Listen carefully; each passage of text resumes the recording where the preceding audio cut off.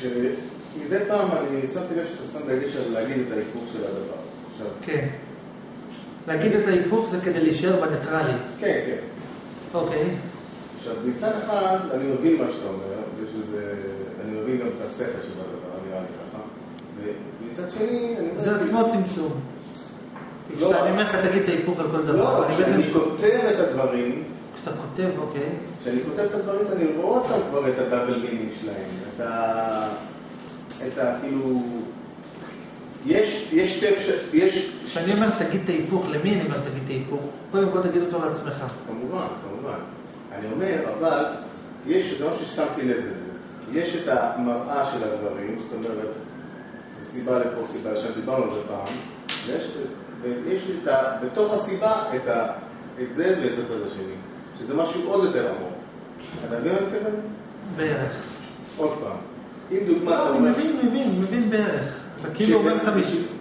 כשאתה אומר בן אדם, לדוגמה, כשבן אדם כותב משהו, תראה, בוא נחדד את זה. הרעיון הוא, השאלה היא כמה כוח אתה נותן לצמצום.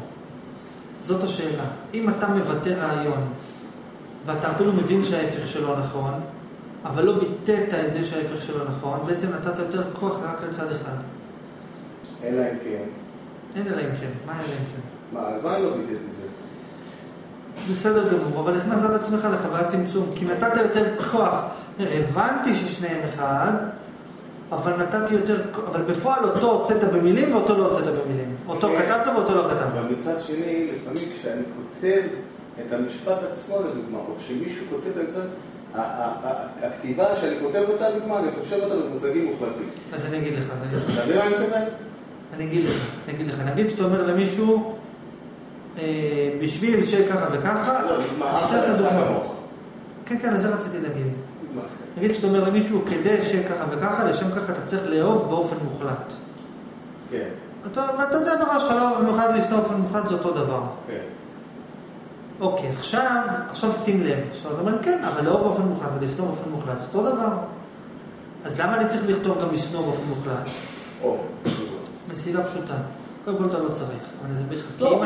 כי אם אתה אומר- אם אתה כותב, כדי להגיע לשלמות, אתה צריך לאהוב את הכל באופן מוחלט. אם אתה אומר את המשפט הזה, אתה, אתה יכול לטעות בטעות, ובטעות לחשוב שזה רק לאהוב באופן מוחלט. כי אם היית אומר, אתה צריך או לאהוב באופן מוחלט, או לשנוא באופן מוחלט, אז עוד פעם באת בניטרלי. כן, אבל בוא, אני מבין את זה, אבל מבחינת דוגמה כתבים, שאתה בא ובוחן כתב, ואומרים שמבחינת הסיסטמה, רגע, רגע, רגע, רגע, רגע, שכח, שכח. קודם כל אנחנו מדברים עליך כבן אדם שאתה כותב אתה. אוקיי, קודם כל מול עצמך, כשאתה מבטא מסר, השאלה היא האם במלל עצמו, האם גם אמרת את ההיפוך או לא. כן. כי אם לא אמרת את ההיפוך, זה בסדר, אפילו אולי יותר הבינו אותך. אבל מול עצמך בעצם צמצמת את עצמך, שטפת לעצמך את המוח שמשהו אחד יותר נכון מההיפוך. עכשיו, בשביל עצמך, עכשיו אתה יכול להגיד, עכשיו אם אתה כל הזמן תגיד את ההיפוך, אתה תמיד תישאר בניטרלי. לא, אתה יכול להגיד את שני אני הצדדים. אתן דוגמה להעביר מסר למישהו.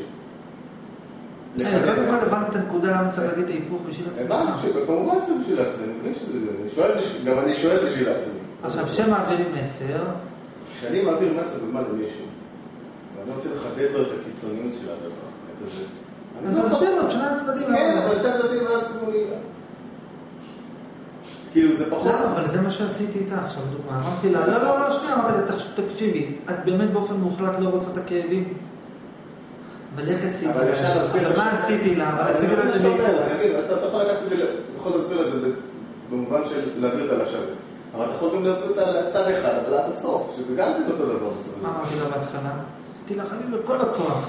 ואז היא. אמרה לי, אני לא יכולה להילחם בכל הכוח, אז מה אמרתי לה? את באמת רוצה להילחם בכל הכוח? לא, אז אין בעיה. אז תביני שאת עצמך לא באמת שונאת אותו. אם את לא באמת שונאת אותו, אז אל תתלונני עליו. לכן כשאני קורא טקסטים לפעמים, אין, אין לזה פתרונות מוחלטים, אל תצפה שאני אגיד לך, הנה זה, באמת אין לזה אני לא פתרונות. לפתרון... לא, אני אומר לך, אין, לא, אני מסביר, אני רק אומר לך מראש, מול עצמך אפילו, אין לזה תשובה מוחלטת.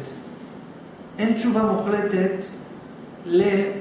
האם כדאי לנקוט עמדה או לא לנקוט עמדה. אין תשובה מוחלטת. לשום דבר. נכון. לא. אבל, לא, אבל אני מחדד לך את זה באופן פרטי. יש יתרונות בלהגיד, תמסור את נפשך לאהוב את המציאות. יש יתרונות בלהגיד, תראה, מה שאני הסברתי לה, נגיד, יכולתי להגיד לה, תאהבי את זה שיש מלחמה. אבל לא אמרתי לה, תגיד שיש מלחמה, אני אמרתי לה, תשנאי את זה שיש מלחמה. אמרתי לה, בכל הכוח שלך תנסי לחשוב על משהו אחר. מה בעצם אמרתי לה? תשנאי את זה שיש מלחמה, נכון? עכשיו הוא, עכשיו יש כאלה שחושבים שזו חשיבה חיובית, זה לא חשיבה חיובית, זה חשיבה שלילית. אני לימדתי אותה איך לשנוא את זה שכואב לה הגב בכלל. שזה חשיבה חיובית. זה חשיבה שלילית. מה, היום הוא אמר לי תחשוב על החיובי, לא, אמרתי לך תחשבי כמה זה שלילי שכואב לך הגב, וזה ייתן לך את הכוח לא לחשוב על זה. עכשיו, אתה מבין? עכשיו, זהו, זה... אני שואל שאלה שהיא בעצם... אין בזה, אין בזה.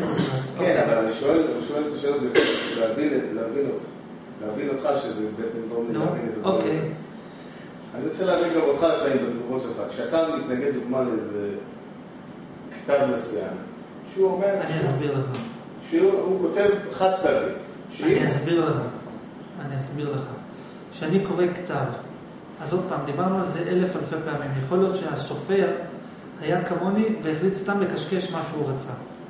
יכול להיות, אה, בתיאוריה הכל יכול להיות. אנחנו מדברים על המסר שמתבטא דרך כתב, לא על הספר עצמו. מה? שאלה, אבל אני יכול לקרוא לדוגמה, אני רוצה- רגע, רגע, זה. אני דוגמה קורא את הטקסט, סיפרתי לך, לדוגמה על אה, ואהבת את אה, אה, אדוני אלוהיך בכל לבבך ובכל נפשך ובכל מאודך. בשבילי דבר כזה, זה אבל- fucking אבסולוטי.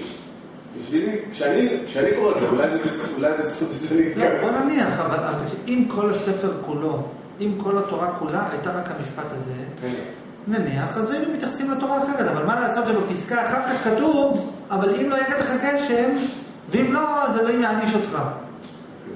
אבל מה זה, הסיפור? אני מתייחס על כל ה... לא, בפסוק לפני, בפסוק אחרי כתוב, כתוב עוד פעם אה, קומבינציה. כן, אבל- רגע, רגע, אז תגיד, אז כתבו את ההיפוך, אבל לא כתבו את ההיפוך באופן מוחלט. לא אמרו, ואם לא, אז תשנא את אלוהיך בכל לבבך. אם היו אומרים, תקשיב, תבעת את אדוניך בכל לבבך, ואם הוא לא יעזור לך, תשנא אותו, לנ- תשק- תכפור בו. הייתי אומר, או, יש פה איזה קיצון מול קיצון. אבל שם אמרו את הקיצון, ואם לא, שמו אותך על האמצע. עוד פעם דיברו על הממוצעים. עכשיו, עוד פעם, עכשיו נגיד שאנחנו קוראים ספר, נגיד סתם ספר, כוחו של הרגע הזה, מה שאתה, מה שאתה רוצה. לא, נגיד כוחו של הרגע הזה. אז קודם כל, אז קודם כל, אם אתה תעמיק בספר, אתה לא תמצא שם דברים מוחלטים. אתה לא תמצא, הוא לא מספיק קיצוני. כשאני כתבתי את הספר להיות אלוהים, זה גם כוחו של הרגע הזה. אני הסברתי לך מה זה נקרא לחשוב רק על הרגע הזה, שאתה חושב רק מחשבה אחת. אתה חושב רק מחשבה אחת שאין לה שום משמעות. כי אם אתה חושב על יותר ממחשבה אחת, אז אתה לא מרוכז רק ברגע הזה. לדוגמה. אבל עכשיו, עכשיו, עכשיו, רגע. יש לך עכשיו אחד, אז גם אין רגע. אבל. אני יודע את זה, נכון. עכשיו תפתח לי את הספר כוחו של הרגע הזה, ותראה לי איפה כתוב בו שלחשוב רק על הרגע הזה, פירושו לחשוב רק על דבר אחד בעולם, איפה זה כתוב? יש לחשוב רק על דבר אחד בעולם? איך אפשר לחשוב על דבר אחד בעולם? כדי, כדי לחשוב על שולחן, אתה צריך לחשוב על עוד דברים. אז תחפש לי קודם כל איפה זה כתוב בספר, זה לא כתוב בספר. אם זה כתוב בספר, אני אשמח לדעת שזה כתוב. אני לא נתקלתי בזה כתוב, לא כתוב. תראה לי כתוב, אולי כתוב, אני אגיד גם הוא היה חכם, אולי אני אגיד את זה, בסדר? אבל תכלס עובדתית זה לא כתוב.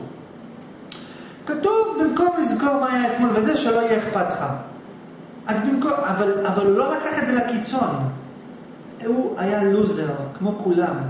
הוא, הם, כולם, לוזרים.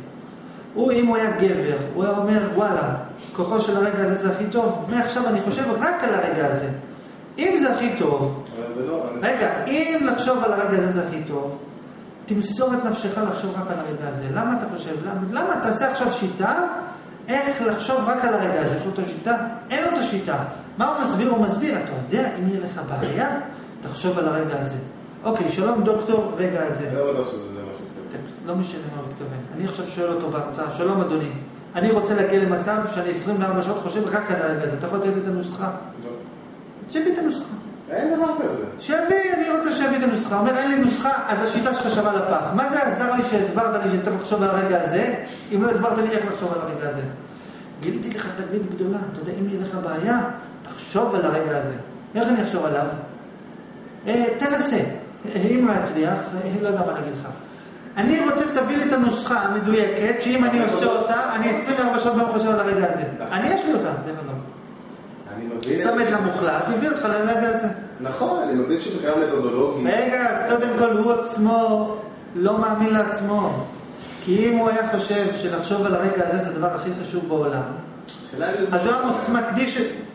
לא אכפת לי למה הוא התכוון. הוא לא הלך עד הסוף עם מה שהוא התכוון. תביא לי כל פירוש שהוא התכוון, הוא לא הלך איתו עד הסוף. למה הוא התכוון? למה הוא התכוון? למשהו אחר?